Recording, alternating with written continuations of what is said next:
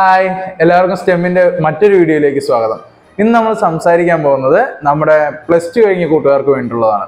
നിങ്ങൾ നീറ്റ് എഴുതിയിട്ടുണ്ടോ? KEAM apply ചെയ്തിട്ടുണ്ടോ?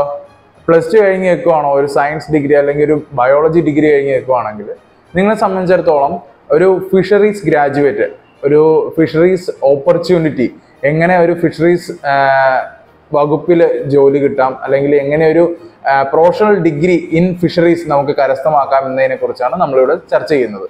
കുറേ കുട്ടികൾക്ക് താല്പര്യമുണ്ട്. അതിൽ കൊച്ചിലെ തൊട്ട് തന്നെ താല്പര്യമുണ്ട്. ഓർണമെന്റൽ അത് അലങ്കാര മത്സ്യങ്ങൾ വളർത്താനായിട്ട് താല്പര്യമുള്ള കുട്ടികളുണ്ട്. കടലിൽ അതുപോലെ കപ്പലിൽ പോയി ഈ പറഞ്ഞ രീതിയിലുള്ള മത്സ്യങ്ങളെ കുറിച്ച് ഗവേഷണം നടത്താൻ താല്പര്യമുള്ള കുട്ടികളുണ്ട്. അതുപോലെ പാചകമായാലും പ്രോസസ്സിംഗ് ആയാലും അങ്ങനെ എല്ലാ രീതിയിലും കടലും വെള്ളവും മത്സ്യവുമായി ബന്ധപ്പെട്ടിട്ടുള്ള എല്ലാ ജോലികളിലും ജോലി കിട്ടാവുന്നതും അതിൽ പ്രഗത്ഭരായി മാറാൻ പറ്റുന്നതുമായ ഒരു കോഴ്സിനെ കുറിച്ചാണ് നമ്മൾ ഇന്ന് ചർച്ച ചെയ്യുന്നത്. ഈ കോഴ്സ് ഓഫർ ചെയ്യുന്നത് കേരളത്തിലെ അല്ല ഇന്ത്യയിലെ ഫസ്റ്റ് യൂണിവേഴ്സിറ്റി ഫിഷറീസിന് മാത്രമായിട്ട് എക്സ്ക്ലൂസീവ്ലി ഫിഷറീസിന് മാത്രമായിട്ട് തുടങ്ങിയ നമ്മുടെ ഫസ്റ്റ് യൂണിവേഴ്സിറ്റി കേരളത്തിലാണ്. അതിന്റെ പേരാണ് Kerala university of fisheries and ocean studies മാടവനയിലാണ്. അതായത് കൊച്ചി വൈറ്റില കഴിഞ്ഞിട്ട് മാടവനയിലാണ് എൻ എച്ച് ബൈപ്പാസിന്റെ ഇരു സൈഡുകളിലും കാണുന്ന നമ്മുടെ യൂണിവേഴ്സിറ്റിയാണ്. നല്ല നീല നിറത്തിൽ കാണപ്പെടുന്ന നമ്മുടെ യൂണിവേഴ്സിറ്റിയാണ്. നമ്മൾ കുഫോസ് എന്ന് പറയുന്നത് ഇന്ത്യയിലെ first university exclusively for fisheries and ocean studies. ഇവിടെ ഓഫർ ചെയ്യുന്ന ഒരു ബി അതായത് ബാച്ചിലർ ഓഫ് ഫിഷറി സയൻസ് എന്ന് പറയുന്ന ഒരു കോഴ്സ് നാല് വർഷത്തെ എഞ്ചിനീയറിംഗ് പോലെ തന്നെ നാല് വർഷത്തെ ഒരു അടിപൊളി കോഴ്സാണ് ബി എഫ് എസ് സി എന്ന് പറയുന്നത്. ഇതിന് ശേഷം നമ്മൾ പുറത്തേക്ക് ഇറങ്ങുമ്പോൾ നമ്മൾ പ്രൊഫഷണൽ ആയിട്ട് മാറുകയാണ്. പ്രൊഫഷണൽ എന്ന് പറഞ്ഞു കഴിഞ്ഞാൽ exclusively for fisheries and ocean സ്റ്റഡീസിലേക്ക് നമ്മൾ പ്രൊഫഷണൽ ആയിട്ട് മാറുകയാണ്. അതിന്റെ അടുത്ത അനന്തര പഠനശാഖകളും പഠന ശാഖകളും അതുപോലെ തന്നെ അടുത്ത ജോലി സാധ്യതകളെ കുറിച്ചാണ് ഇന്നത്തെ വീഡിയോ നമ്മൾ ചർച്ച ചെയ്യുന്നത്. അപ്പോൾ പ്ലസ് ടു നീറ്റും ഒക്കെ കഴിഞ്ഞ് നിൽക്കുന്ന എല്ലാവരും നമ്മുടെ ഈ വീഡിയോയിലേക്ക് സ്വാഗതം. ഞാൻ ഈ കോഴ്സിനെ കുറിച്ച് പറയുമ്പോഴത്തേക്കും മറ്റൊരു കാര്യം പറയാം. ഈ കോഴ്സ് മറ്റ് സയൻസ് കോഴ്സുകളിൽ നിന്ന് വ്യത്യാസമായിട്ടുള്ളത് നാല് വർഷത്തെ കോഴ്സാണ് ഏകദേശം അറുപത് അറുപത്തൊന്നോളം പേപ്പറുകൾ നമുക്ക് ഈ കോഴ്സിൽ നമ്മൾ പാസ്സാകേണ്ടതുണ്ട് ഇതിന്റെ അകത്ത് തന്നെ നാല് വർഷത്തെ കോഴ്സിൽ മൂന്ന് കൊല്ലം നമ്മൾ തിയററ്റിക്കലിയും പ്രാക്ടിക്കലിയും പഠിക്കുന്നുണ്ട്. നാലാമത്തെ വർഷം നമ്മൾ ശരിക്കും അത് ഫീൽഡിൽ എക്സ്പെരിമെന്റ് ചെയ്യുകയാണ് ചെയ്യുന്നത്. ഇപ്പോൾ എക്സാമ്പിൾ പറയുകയാണെങ്കിൽ നമ്മളൊരു അക്വ കൾച്ചർ അതായത് മത്സ്യം വളർത്തുന്നതിൽ കൂടുതൽ എക്സ്പെർട്ട് ആകണം എന്നുണ്ടെങ്കിൽ നമുക്ക് അടുത്ത ഒരു ലാസ്റ്റ് ഇയറിലെ ആ എട്ടാമത്തെയും ഏഴാമത്തെയും സെമ്മ് നമുക്ക് മത്സ്യം വളർത്താനായിട്ടോ അല്ലെങ്കിൽ ഒരു പ്രോസസ്സിംഗ് പ്ലാന്റിലോ ഒരു ഇൻഡസ്ട്രിയൽ വിസിറ്റോ അവിടെ നിൽക്കണമെങ്കിൽ അത്രയും മാസം നമുക്ക് അവിടെ നിന്നുകൊണ്ട് നമ്മുടെ ഇൻ പ്ലാൻ ട്രെയിനിങ് നമുക്ക് അവിടെ നടത്താൻ പറ്റും. അപ്പം ഇതിന്റെ കോഴ്സിന്റെ കാര്യം പറയുകയാണെങ്കിൽ B F S C course ഒരു നാല് വർഷത്തെ കോഴ്സാണ് ഇതിന്റെ കരിക്കുലം എല്ലാം നമുക്ക് ഐ സി എ ആറിന്റെ ആണ് അതായത് Indian council of agriculture research ഇത് ന്യൂഡൽഹിയിലാണ് ആസ്ഥാനം. അപ്പോൾ ഈ പറഞ്ഞ ഗവൺമെന്റ് സെൻട്രൽ ഗവൺമെന്റ് ഈ ഓർഗനൈസേഷന്റെ കീഴിൽ വരുന്ന ഒരു കോഴ്സ് ആയതുകൊണ്ടും ഇന്ത്യയിൽ എല്ലായിടത്തും ഇന്ത്യയിൽ മാത്രമാണ് B F S C course ലഭ്യമാവുന്നത്. ഇന്ത്യയിൽ എല്ലായിടത്തും ഇന്ത്യയിലുള്ള ഏകദേശം ഇരുപത്തെട്ട് മുപ്പതോളം യൂണിവേഴ്സിറ്റികളിൽ ഇന്ത്യയിൽ എല്ലായിടത്തും ഒരേ കരിക്കുലം ഫോളോ ചെയ്യുന്നു. ഒരേ രീതിയിൽ തന്നെ അവർ പഠനത്തിന് വിധേയമാകുന്നു. ഒരേ രീതിയിൽ തന്നെ സെം എക്സാമുകൾ പാസ്സാകുന്നു. ഇതിന് മാത്രമല്ല നമുക്ക് രണ്ട് രീതിയിലാണ് ഈ കോഴ്സിലേക്ക് അഡ്മിഷൻ വരുന്നത്.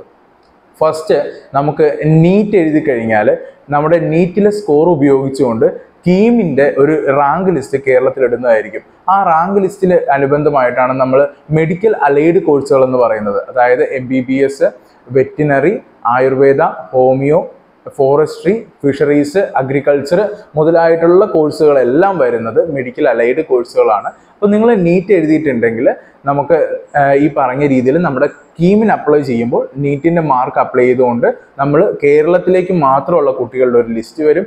ആ ലിസ്റ്റിൽ നിന്ന് നമുക്ക് താല്പര്യമുള്ള ഈ കോഴ്സിലേക്ക് നമുക്ക് അപ്ലൈ ചെയ്യാൻ പറ്റുന്നതായിരിക്കും. ഇതല്ലാതെ രണ്ടാമതൊരു ഓപ്ഷൻ എന്ന് പറയുന്നത് ഐ സി എ ആർ. അതായത് ഞാൻ പറഞ്ഞ Indian council of agriculture research N T A നടത്തുന്ന ഐ സി എ ആറിന്റെ യു ജി പ്രോഗ്രാം ഉണ്ട് യു ജി എക്സാം. ആ യു ജി എക്സാം നമ്മൾ പാസ്സായി കഴിഞ്ഞാൽ അതിൽ കിട്ടുന്ന കട്ട് ഓഫ് മാർക്ക് ഉപയോഗിച്ചുകൊണ്ടും നമുക്ക് ഈ പറഞ്ഞ രീതിയിൽ കേരളത്തിലെ കുഫോസിലേക്ക് മാത്രമല്ല നമുക്ക് ഈ പറഞ്ഞ മറ്റ് യൂണിവേഴ്സിറ്റികൾ അതായത് ഇന്റർ സ്റ്റേറ്റിലുള്ള യൂണിവേഴ്സിറ്റികളിലേക്കും നമുക്ക് അപ്ലൈ ചെയ്യാൻ പറ്റും. എക്സാമ്പിൾ മാംഗ്ലൂർ ഉണ്ട് നമുക്ക് ഫിഷറീസ് യൂണിവേഴ്സിറ്റി അതുപോലെ doctor Jayalalithaa university in Tamil Nadu അതുപോലെ തന്നെ രത്നഗിരിയിൽ യൂണിവേഴ്സിറ്റി ഉണ്ട്. ഇതെല്ലാം ഫിഷറീസ് കോളേജുകളാണ് ഈ കോളേജുകളിൽ നിങ്ങൾക്ക് U G course same B F S C പഠിക്കണം എന്നുണ്ടെങ്കിൽ ഐ സി എ ആറിന്റെ ഈ എക്സാം ആണ് നമ്മൾ നട എഴുതി പാസ്സായി കട്ട് ഓഫ് വെച്ച് അപ്ലൈ ചെയ്യണം.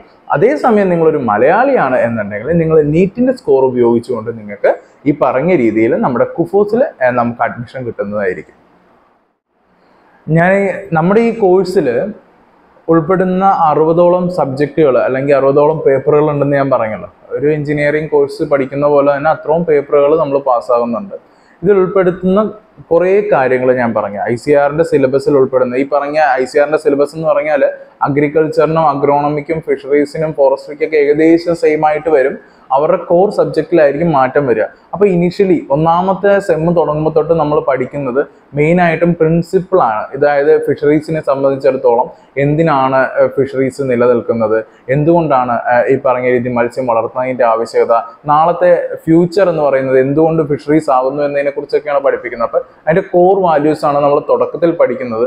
പിന്നീട് വരുംതോറും റിസർച്ച് ഓറിയന്റഡ് ആയിട്ട് നമ്മൾ ഓരോ കാര്യങ്ങളും പഠിക്കും. ഇത് കൂടാതെ തന്നെ പ്രാക്ടിക്കലി ഓർണമെന്റൽ അല്ലെങ്കിൽ അലങ്കാര മത്സ്യങ്ങളെ വളർത്തുന്നത് മാത്രമായിട്ടുള്ള കോഴ്സുകളുണ്ട് അതിനുശേഷം നമുക്ക് ആവശ്യമായിട്ടുള്ള മത്സ്യം വളർത്തൽ അതായത് വിപണന സാധ്യത അനുസരിച്ച് മത്സ്യം വളർത്തുന്നതിന് മാത്രമായിട്ടുള്ള കോഴ്സുകൾ ബയോടെക്നോളജി പരമായിട്ടുള്ള കോഴ്സുകൾ ഇതിനെല്ലാം തന്നെ തുടക്കത്തിൽ ഒരു സെക്കൻഡ് ലാംഗ്വേജ് എന്ന രീതിയിലും അതുപോലെ ഇംഗ്ലീഷ് കാര്യങ്ങളെല്ലാം ഉണ്ട്. ഐ അതുപോലെ തന്നെ സ്റ്റാറ്റിസ്റ്റിക്സ് നിങ്ങൾ നോക്കുകയാണെങ്കിൽ ഓൾറെഡി ഏകദേശം ഒരു അറുപത് പേപ്പറുകൾ കൊണ്ട് തന്നെ ഒരു ഇന്ത്യയിൽ ലഭിക്കാവുന്ന ഏറ്റവും നല്ല ഒരു കരിക്കുലം ആയിരിക്കും നമുക്ക് ഈ കോഴ്സിൽ കിട്ടുക. മാത്രമല്ല എല്ലാ സെമ്മുകളിലും ഒരു ഇൻഡസ്ട്രിയൽ വിസിറ്റ് എന്ന് പറയുന്ന രീതിയിൽ ഈ കരിക്കലത്തിൽ ഉൾപ്പെടുത്തിയിട്ടുണ്ട്. അത് കൂടാതെ തന്നെ നമ്മുടെ സൗത്ത് ഇന്ത്യയിൽ നമുക്കൊരു ഐ വി വിസിറ്റിന്റെ സാധ്യതകൾ മൂന്നോ നാലോ സെമ്മ് കഴിയുമ്പോഴത്തേക്കും നമുക്ക് വരുന്നുണ്ട്.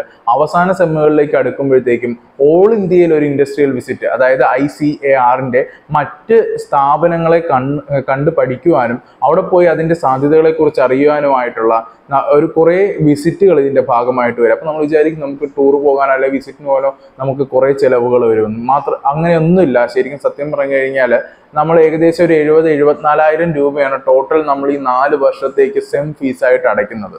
അത് നമുക്ക് ഇ ഗ്രാൻഡ് കമ്മീഷൻ ഉള്ളത് കൊണ്ട് തന്നെ കേരളത്തിലെ കുട്ടികൾക്ക് ഒരു പരിധി വരെ ഇതെല്ലാം തിരിച്ച് ലഭിക്കുന്നതുമാണ്. അത് കൂടാതെ തന്നെ നമുക്കുള്ള പ്രത്യേകത എന്ന് വെച്ച് കഴിഞ്ഞാൽ അവസാനത്തെ ഒരു രണ്ട് സെമ്മുകൾ ഞാൻ പറഞ്ഞല്ലോ ഏഴും എട്ടും എന്ന് പറയുന്നത് നമ്മൾ ഇൻ പ്ലാന്റ് ട്രെയിനിങ്ങോ അല്ലെങ്കിൽ ഇൻഫീൽഡ് ട്രെയിനിങ്ങോ എന്നൊക്കെ പറയും. അപ്പോൾ ഈ റൂറൽ വർക്ക് എക്സ്പീരിയൻസ് എന്നും പറയാറുണ്ട്. ഈ രീതിയിൽ നമ്മൾ പുറത്ത് പോയി ജോലി ചെയ്യുന്നതിന് നമുക്ക് ചെറിയ റെന്യൂമറേഷൻ ആയിട്ട് നമുക്ക് ഡെയിലി വേജസ് യൂണിവേഴ്സിറ്റിയിൽ നിന്ന് തന്നെ നമുക്ക് ലഭിക്കുന്നതാണ്. ഈ കിട്ടുന്ന ഈ തുക ഉപയോഗിച്ചുകൊണ്ട് തന്നെ ഏകദേശം നാൽപ്പതോ നാൽപ്പത്തയ്യായിരം രൂപയോളം വരുന്ന ഈ തുക ഉപയോഗിച്ചുകൊണ്ട് തന്നെ അവസാനത്തെ ഇൻഡസ് ഇൻഡസ്ട്രിയൽ വിസിറ്റ് നമുക്ക് ഓൾ ഇന്ത്യയിൽ പോകുവാനും ഫുൾ നമുക്ക് എക്സ്പ്ലോർ ചെയ്യാനുമായിട്ടും പറ്റുന്നതായിരിക്കും. അപ്പോൾ ഈ കോഴ്സിന്റെ ഒരു വേഴ്സറ്റാലിറ്റി എത്തോരം എത്ത- എന്തോരം വലിപ്പമുണ്ട് എത്രത്തോളം കോഴ്സ് ഈ നമ്മളെ ഒരു അതായത് പ്ലസ് ടു കഴിഞ്ഞു വരുന്ന ഒരു കുട്ടിയെ എത്രത്തോളം പ്രൊഫഷണൽ ആക്കി മാറ്റുന്നുണ്ട്. അതായത് അതിന്റെ അകത്തുള്ള ഒരു മറ്റൊരു കോഴ്സാണ് ഓൺടർപ്രണർ ഡെവലപ്മെന്റ് അതായത് എങ്ങനെ ഒരു സംരംഭകനായി മാറാം എന്ന് പറയുന്നതിനെ കുറിച്ചൊരു കോഴ്സ് ഉണ്ട് സ്റ്റാറ്റിസ്റ്റിക്സ് ഉണ്ട് പ്ലാനിങ്ങിനെ കുറിച്ചുണ്ട് അപ്പൊ പല രീതിയിൽ ഇതിലെല്ലാത്തിനും അപ്പുറം ഫിഷറീസ് എക്സ്റ്റൻഷൻ എന്ന് പറയുന്ന ഒരു ഡിപ്പാർട്ട്മെന്റ് അതായത് വിജ്ഞാന വ്യാപന വിഭാഗം എന്ന് നമുക്ക് പറയാൻ പറ്റും. ഈ യൂണിവേഴ്സിറ്റി അല്ലെങ്കിൽ ഈ കോഴ്സ് നിലനിൽക്കുന്നത് തന്നെ നമ്മുടെ മത്സ്യസമ്പത്തിനെയും അതുപോലെ തന്നെ തീരപ്രദേശങ്ങളിലും ഉൾനാടൻ പ്രദേശങ്ങളിലും ജീവിക്കുന്ന നമ്മുടെ മത്സ്യത്തൊഴിലാളികൾക്കും അവരുടെ ഉന്നമനത്തിനും അവരുടെ മക്കളുടെ വളർച്ചയ്ക്കും എല്ലാത്തിനും വേണ്ടിയിട്ടാണ് ഇത് നിലനിൽക്കുന്നത്. അതായത് മത്സ്യങ്ങളെ പോലെ തന്നെ മനുഷ്യരെയും ചേർത്ത് പിടിക്കുന്ന ഫിഷറീസ് എക്സ്റ്റൻഷൻ എന്ന വകുപ്പും കൂടെ നമ്മുടെ ഈ കോഴ്സിൽ ഉൾപ്പെടുന്നതാണ്. അതുകൊണ്ട് തന്നെ എത്രത്തോളം പ്രൊഫഷണൽ ആയിട്ട് പ്ലസ് ടു കഴിഞ്ഞ് വരുന്ന ഒരു കുട്ടി നാല് കൊല്ലം കൊണ്ട് എത്രത്തോളം പ്രൊഫഷണൽ ആയിട്ട് മാറിയിട്ടാണ് അവൻ സമൂഹത്തിലേക്ക് വരുന്നതെന്ന് നമുക്ക് ഈ കോഴ്സിലൂടെ മനസ്സിലാക്കാം. നമ്മുടെ ഈ കോഴ്സിലേക്ക് കോഴ്സിന്റെ കാര്യങ്ങളെല്ലാം ഞാൻ പറഞ്ഞു. ഇനി വരുന്നതെന്ന് വെച്ച് കഴിഞ്ഞാൽ എത്ര കുട്ടികൾക്ക് ഒരു വർഷം അഡ്മിഷൻ ലഭിക്കാം. അപ്പോൾ ഈ പറഞ്ഞ യൂണിവേഴ്സിറ്റിയുടെ കീഴിൽ ഏകദേശം രണ്ട് കോളേജുകൾ കേരളത്തിൽ ഇന്നുണ്ട്. ഒന്ന് ഈ പറഞ്ഞ മെയിൻ ക്യാമ്പസിൽ കുഫോസ് പനങ്ങാട് അതായത് കൊച്ചിയിൽ തന്നെയാണ്. രണ്ടാമത്തത് പയ്യന്നൂരാണ്. കണ്ണൂർ പയ്യന്നൂർ രണ്ടാമത്തെ ക്യാമ്പസും നമുക്ക് സ്ഥിതി ചെയ്യുന്നുണ്ട്. പയ്യന്നൂർ നാൽപ്പത് കുട്ടികളും അതുപോലെ തന്നെ കുഫോസ് പനങ്ങാടിൽ എൺപത് കുട്ടികളുമാണ്. മൊത്തം നൂറ്റി ഇരുപത് കുട്ടികൾക്കാണ് ഒരു വർഷത്തേക്ക് B F S C bachelor of fishery സയൻസിലേക്ക് admission ലഭിക്കുന്നത്. രണ്ടായിരത്തി പത്തിൽ ഫിഷറീസ് യൂണിവേഴ്സിറ്റി മാ ആയി മാറുന്നതിന് മുന്നേ ഒരു പഴയ കാലം ഉണ്ടായിരുന്നു. കോളേജ് ഓഫ് ഫിഷറീസ് പനങ്ങാട് എന്നായിരുന്നു ഇതിന്റെ പേര്. അപ്പോൾ രണ്ടായിരത്തി പത്തിൽ ഫിഷറീസ് യൂണിവേഴ്സിറ്റി ആയതിനു ശേഷമാണ് ഒരു ഓട്ടോണമസ് പവർ ഇതിന് വന്നിരുന്നത്. അതിന് മുന്നേ ആയിട്ട് നമ്മൾ K A U Kerala agriculture യൂണിവേഴ്സിറ്റിയുടെ ഭാഗമായിട്ടായിരുന്നു നിലനിന്നിരുന്നത്. തുടക്കകാലത്ത് പത്തോ ഇരുപതോ കുട്ടികളുടെ ഒരു ബാച്ച് ആയിരുന്നെങ്കിൽ രണ്ടായിരത്തി പതിനേഴിൽ വന്നപ്പോൾ അത് എൺപത് കുട്ടികളാകുകയും രണ്ടായിരത്തി ഇരുപത്തിരണ്ട് ഇരുപത്തിമൂന്ന് കാലഘട്ടത്തിൽ അത് നൂറ്റി ഇരുപത് കുട്ടികളായി മാറുകയും ചെയ്തു. അതായത് ഓരോ വർഷം ചെല്ലും തോറും ഫിഷറീസ് പ്രൊഫഷണലുകളുടെ ആവശ്യം കൂടുകയും അത്രയും കുട്ടികളുടെ സീറ്റ് വർധനവ് ഉണ്ടാകുകയാണ് ചെയ്തിരിക്കുന്നത്. അതുകൊണ്ട് തന്നെ ഇതിന്റെ ജോലി സാധ്യതകളെ കുറിച്ച് സംസാരിക്കുമ്പോഴത്തേക്കും നമുക്ക് വളരെ വ്യാപിച്ചു കിടക്കുന്ന ഒരു അലുമിനി അസോസിയേഷൻ നമ്മുടെ ഈ കോളേജിനുണ്ട് അതുപോലെ തന്നെ എല്ലാ കുട്ടികൾക്കും ജോലി സാധ്യതകൾ വളരെ നല്ല രീതിയിൽ തന്നെ ക്യാമ്പസ് പ്ലേസ്മെന്റ് അല്ലെങ്കിൽ മറ്റ് സീനിയർ ജൂനിയർ ബന്ധങ്ങളോട് കൂടി തന്നെ നമ്മൾ പ്രൊവൈഡ് നമുക്ക് ലഭി ലഭിച്ചുകൊണ്ടിരിക്കുന്ന ഒരു അവസ്ഥയാണ്.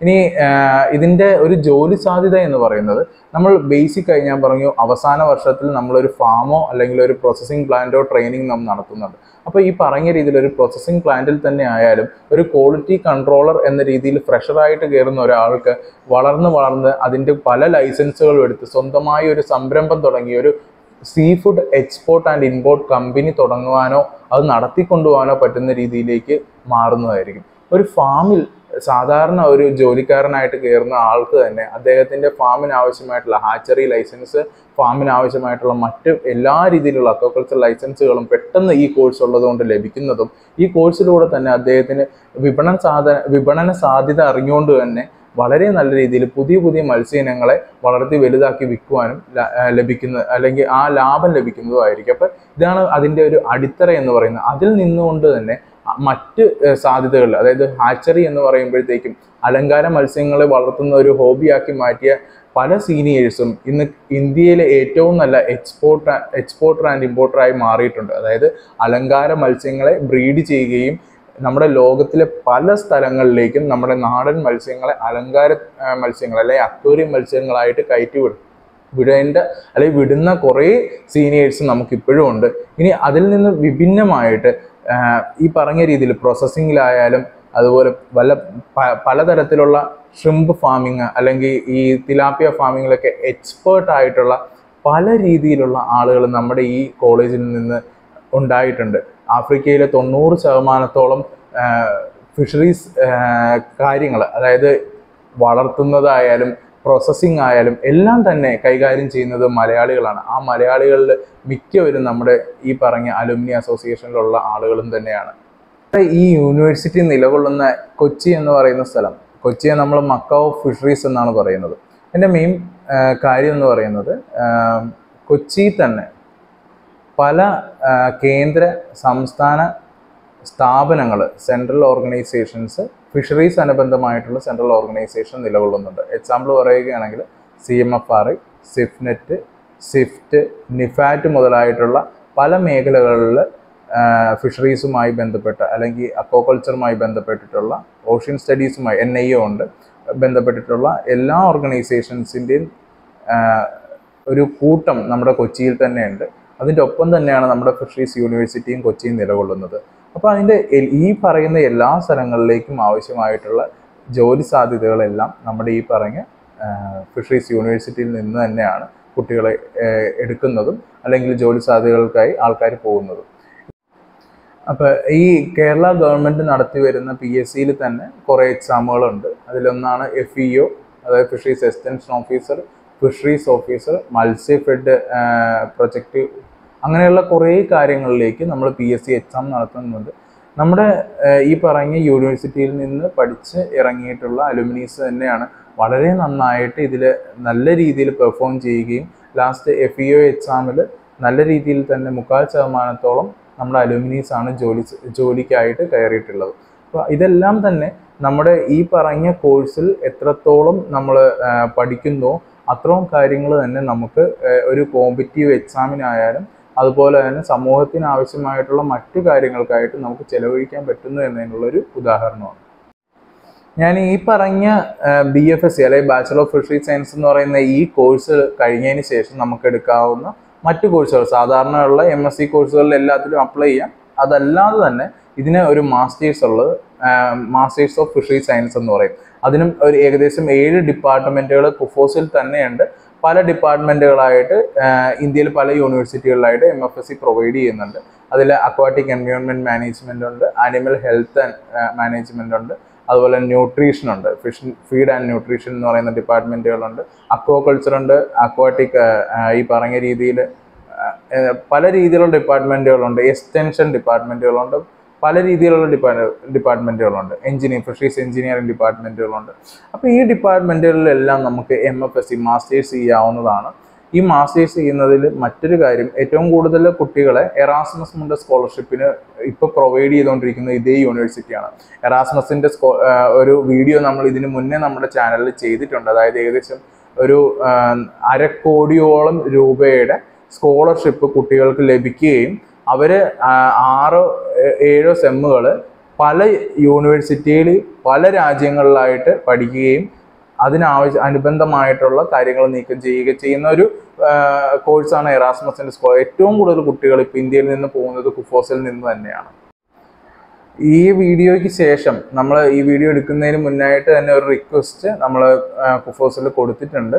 അത് അപ്രൂവ് ആവുകയാണെങ്കിൽ നമ്മൾ ഈ പറഞ്ഞ രീതിയിൽ ക്യാമ്പസിന്റെ എത്രത്തോളം വിസ്തൃതമാണ് ആ ക്യാമ്പസ് എന്തൊക്കെ ഫെസിലിറ്റീസ് ആ ക്യാമ്പസിലുണ്ട് എന്തോരം കാര്യങ്ങൾ ആ ക്യാമ്പസിൽ നമുക്ക് മനസ്സിലാക്കാം. ഈ പറയുകയാണെങ്കിൽ സ്വിമ്മിങ് എന്ന് പറയുന്നത് ഈ കോഴ്സിന്റെ ഒരു ഭാഗം ആണ്. അതായത് സ്വിമ്മ് ചെയ്ത് നിങ്ങൾ നീന്തൽ പഠിച്ച് മാത്രമാണ് നമുക്ക് ഈ കോഴ്സ് പൂർത്തീകരിക്കാൻ പറ്റുകയുള്ളൂ. അപ്പോൾ അങ്ങനെ കുറേ കാര്യങ്ങൾ നമുക്ക് ക്യാമ്പസിൽ നിന്ന് തന്നെ പഠിക്കാവുന്നുണ്ട് അപ്പോൾ ഈ പറഞ്ഞ രീതിയിൽ ഇതിന്റെ നമുക്ക് ആ റിക്വസ്റ്റ് അപ്രൂവ് ആവുകയാണെങ്കിൽ നമ്മൾ ആ ക്യാമ്പസിലൂടെ തന്നെ ഈ കോഴ്സിനെ കുറിച്ചും മറ്റു കോഴ്സിനെ കുറിച്ചും ഒരു വീഡിയോ ചെയ്യുന്നതായിരിക്കും. Thank for watching